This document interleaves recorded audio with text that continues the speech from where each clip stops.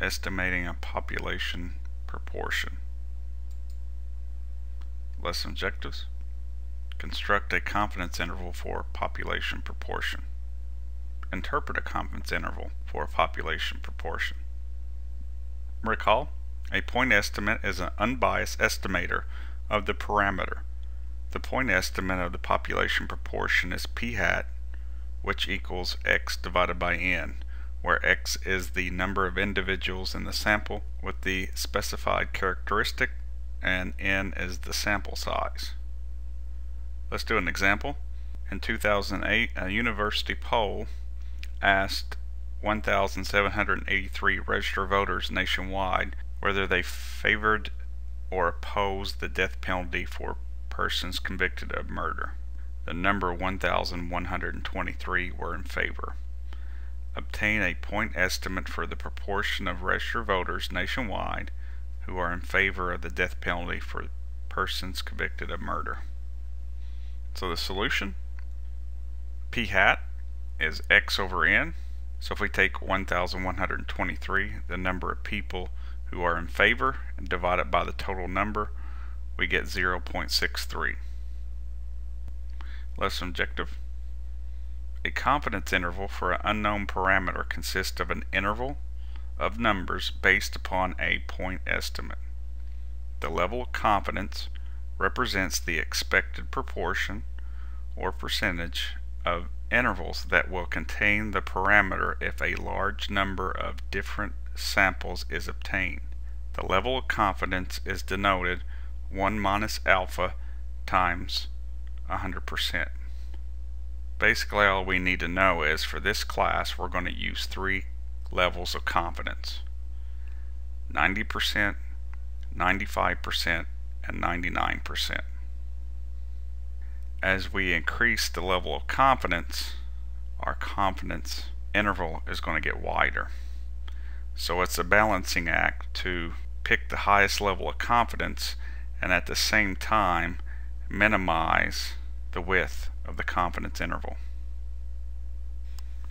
Confidence interval estimates for population proportion are in the form point estimate plus or minus margin of error. The margin of error of a confidence interval estimate of a parameter is a measure of how accurate the point estimate is. The smaller the margin of error, the better the confidence interval. So if we look at this visual, here's our point estimate. This is our best guess for the parameter. And it's always in the middle of our confidence interval. And if we subtract the point estimate minus the margin of error we get our lower limit. If we add it we get our upper limit. So what can affect how big the margin of error is well the margin of error depends upon three factors level of confidence is the first one as the level of confidence increases, the margin of error also increases. The sample size. As the size of the random sample increases, the margin of error decreases. It gets smaller. And the standard deviation of the population. The more spread there is in the population, the wider our interval will be for a given level of confidence. So it's a balancing act. We want highest level of confidence, but at the same time as we increase it, the margin of error also increases. The sample size, as we increase the sample size, the margin of error decreases, but as the sample size increases, so does the time and the money to collect the sample. So it's a give and take.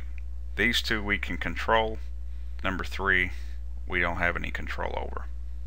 So the question becomes, how do we compute the margin of error? Well, before we can answer that question, we must talk about the distribution of p hat. So the sampling distribution of p hat. For a simple random size n, the sampling distribution of p hat is approximately normal with mean mu of p hat, so this is the average of all the p hats, that will equal the population proportion and the standard deviation is given by the standard error of p hat which is the square root of p times 1 minus p divided by n. And this is true that n times p times 1 minus p has to be greater than or equal to 10.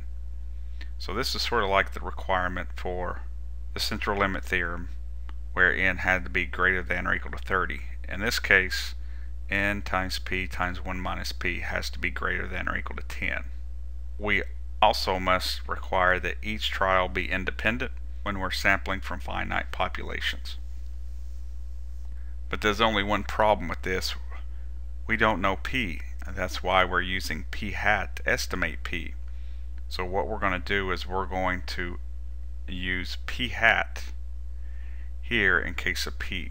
So when we look at our formula for confidence intervals, it looks like this. Our lower bound is p hat minus z alpha over 2 times the standard error, where that's equal to p hat times 1 minus p hat divided by n. The upper bound is our point estimate p hat plus z alpha over 2 times our standard error. Now what is this z alpha over 2? Well this is what we call the critical value of z and it is determined by the confidence level. Now we must note there's two restrictions here. n times p hat times 1 minus p hat has to be greater than or equal to 10 for it to be normal and the sample size must be less than or equal to 5% of the population. So let's look at the critical values of z. If our level of confidence is 90%, z alpha over 2 is 1.645. If our level of confidence is 95, it becomes 1.96. And if it's 99, it's 2.575. So as we increase the level of confidence, the critical value of z alpha over 2 increases, thus our margin of error increases. So the general form for a confidence interval for a population proportion is point estimate plus or minus margin of error, which is the same thing as our sample proportion plus or minus our critical z-score times the standard error. And in symbols, that would be p hat plus or minus z alpha over 2 times our standard error. Another way of writing confidence intervals is by using capital letter E, which represents our margin of error, z alpha over 2 times our standard error. Now if you ever see Q, Q is the same thing as 1 minus P. And if we look at it, there's actually three ways we can write a confidence interval. We can say P hat minus E is our lower bound, p hat plus e is our upper bound. So we can write it as an inequality. We can write it as a point estimate plus or minus a margin of error. And we can write it in interval notation